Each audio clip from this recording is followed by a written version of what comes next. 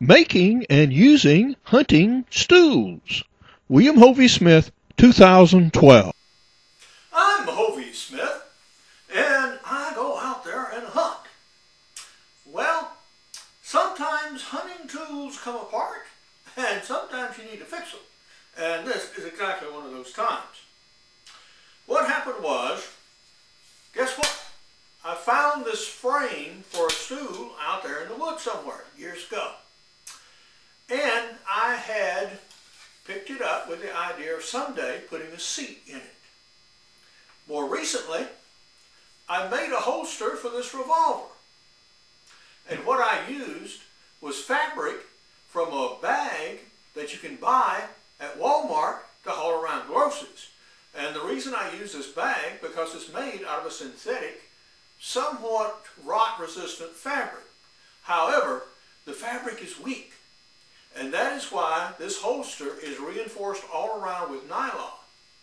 And for this use, and reinforced with nylon, and also with the installation of a nylon strap as well as two cloth straps, yeah, the holster has done very well. However, having fabric left over from that bag, I decided to use it to make a seat with this. Sewed up same, and, well, it failed.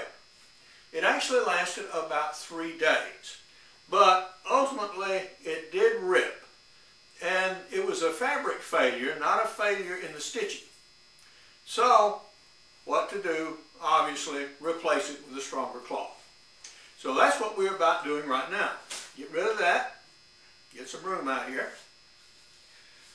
Before me is a canvas drop cloth. I picked this up on the side of the road. It blew off some poor painter's truck. Well, I don't know if he painted poorly or not, but at any rate, he is a poor for losing his drop cloth. So that's what we're going to use. Now this seat adjusts out like this. And obviously, the wider the spread, the lower the seat. Now for me, I want it about like yay, which gives me a, a distance where my knees will rest comfortably. So that is about a span of 12 inches. Well, yeah, 12 inches. So, you want an inch wrap around here, 13, 14, and you want at least a couple of inches of cloth on the other side, 15, 16, 17, 18. So I need 18 inches of cloth, about yay much cloth, to wrap around and actually uh, bake the seed itself. So I'm going to be about cutting that up. Now, obviously, the drop cloth is much wider than 18 inches. And it has a turned sewn edge here, which I certainly want to preserve. So this will be one edge here, and then I'll cut me an 18 inch rectangle of cloth and actually start sewing up. Okay?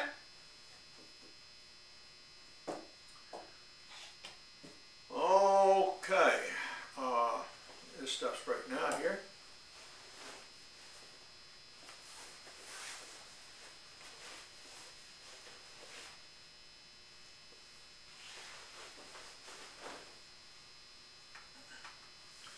Now we know the length needs to be 18 inches.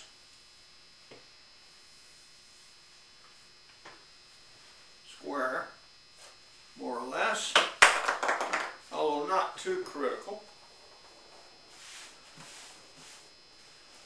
And we want the width to be right about here somewhere. So that's going to be the width as marked by this ferocious knife. And a little extra so I can turn the edges. So that'll do about fine.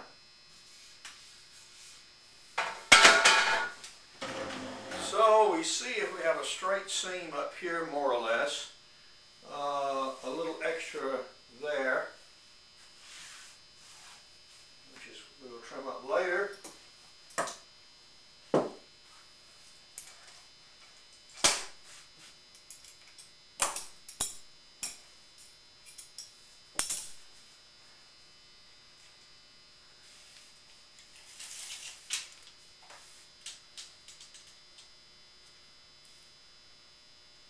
18 inches down.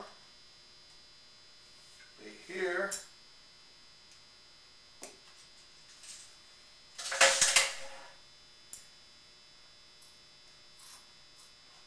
Now cloth has a weave, so you can use the threads itself as sort of a mark. So you cut more or less a straight line. Well, I was never a good straight line cutter even when I was in the first grade and have not improved my skills very much since. But that'll do. All right. So that's that line.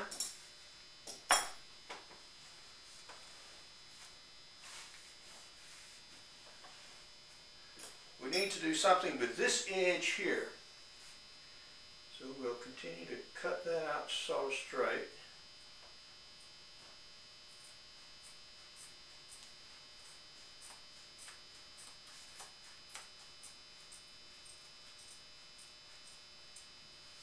The scissors in the world. Okay. It'll tear better. Yeah, all right. Expedient. Okay. Measure our width again.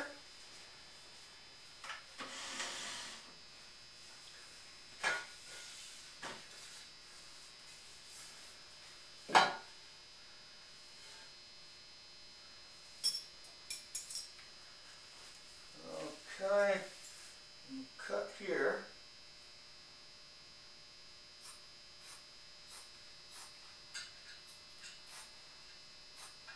I'm going to wrap this edge and flip it a little bit, so that's why I'm taking a little extra. And I'll strengthen the cloth, by the way.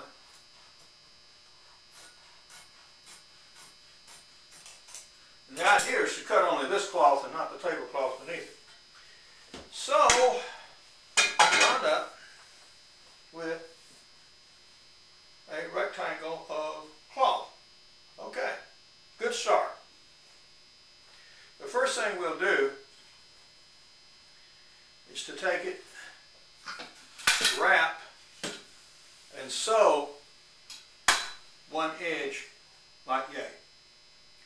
And I'm going to be about doing that, so when I'm further along, I'll join you back. You see the seat here now, and all I've got it is just pinned with some safety pins, just basically to check out and make sure, yeah, my cloth measurements are all right, and give me now something more nearly uniform to sew against. Now what I'm going to use is nylon fishing line. This happens to be 12 pound test, and of course a single needle with a decent eye in it so I can thread it easily. So the first thing we're going to do is, of course, sew up these stitches with a double line of stitching, one, one closer to the edge here and then one further out on both sides. Now I'm, uh, by modern standards, a smallish guy. Yeah. Uh, now if you're a bigger guy and heavier than I am, uh, many people are, go ahead and either not cut the cloth at all as I have, so you fold it over double. So that way you get a double strength. The cloth is not likely to fail here. It's going to fail in the middle. That's where its point of failure will be right, be right across here. So you can significantly reinforce it by putting in another strip of cloth here to here. As a matter of fact, I'm just going to go ahead and do that. So we'll have a, a reinforced double ply seat here. So uh, we're going to get started and uh, be back when I'm further along. I've now finished off the stitching on one side. You can see the double rows of stitching, one on top, one on bottom. And here's the needle and thread. Now the way you finish off a stitch is to take the needle and pass it under some cloth, like here. Take it through the loop like that. Make a knot, and then push it back through again. And that will fairly well bind it sufficiently to hold the knot. Pass it back through. All right. Do it again if you want to. Okay, and now you can cut that off and that stitch will hold. So we're going to do exactly the same thing on the other side and uh, then we'll give it a field test. Structurally, we now have our stand completed and that it's got both layers of stitching here done with the fishing cord. So these are pretty strong bonds here. And to finish, take regular regular thread, regular cotton thread, and turn the edge like this and stitch these edges. The cotton thread is not going to add much in the way of strength, but you don't want to use the monofilament fishing line here because it will abrade your yourself and your fabric and also uh, perhaps make a rasping noise against clothes when you move. So that's the reason you don't want to do that and so you do that on both sides. For additional reinforcement you can take a small piece of nylon here and run it about like this with approximately an inch extending back over the lip. Now what this will do will reinforce these seams. You do not want to do this. If you do that, this will bind and it would be very uncomfortable whether you belong to the hunt naked movement or not. Uh, yeah, but it would be helpful, uh, say about an inch here and about an inch here. So that would give maximum reinforcement to this canvas seat. For yet further strength, yes, you could keep adding layers of cloth or fabric using this as a base and sewing too. Uh, that could be done. But basically, for me, uh, the seat is about completed. So I'm going to take this out and hunt with it tomorrow and hopefully shoot a deer from it. Well, our stew is now complete. So we did whip up the edges here with thread and we did go ahead and put the nylon reinforcing here by just coming down an inch or so as you see. Now I could take this stew just like you see it into the woods and hunt.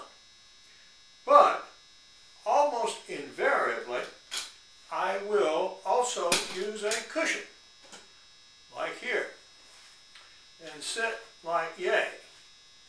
Typically, when I carry it, this strap goes over the shoulder, so the cushion hangs from the side like this, and the stool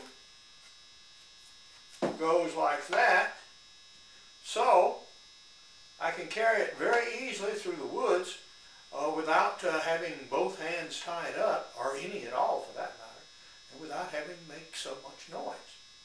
So this is a good combination that I've used to kill, oh, I don't know how much stuff, but uh, lots of game over the years. But uh, you know what? That works. And most of it you can do yourself. Now here is a blind and I have my seat and cushion in it.